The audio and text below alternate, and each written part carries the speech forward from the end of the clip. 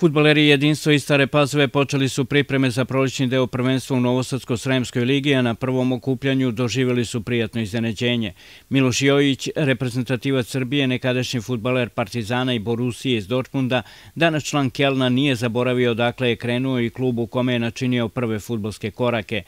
Sve u svom matičnom klubu obradovao je poklonom pred početak priprema za prolići deo prvenstva.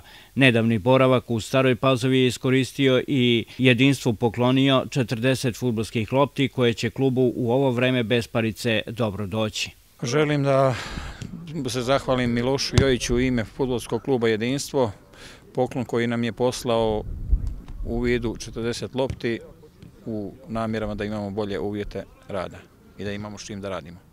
Igrači su imali prilike da treniraju u novim loptama već na prosivci, a pre izlaska na teren imali su kraći sastanak sa predsjednikom Milićom Stojakovićem i trenerom Milanom Vujasinom, koji je za radio televiziju Stara Pazova izložio plan rada za pripreme i promene u igračkom kadru. Trenutno otišao nam je Milaković e, i e, Petrović i Lukić vezni.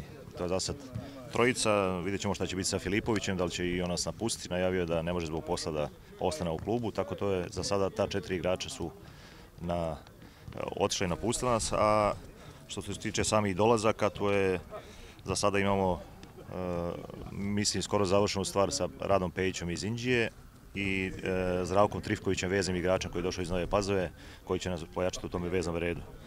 I priključio nam se Vujičić, isto tako ofanzivni vezni igrač.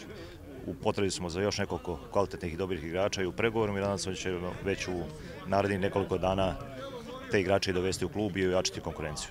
Prvu proveru jedinstvo će imati 23. januara u sportskom centru sa borcem iz Čačka, zatim sa Inđijom, Dunavom iz Starih Banovaca, omladincem iz Novih Banovaca, radničkim iz Nove Pazove, a traži se još nekoliko rivala.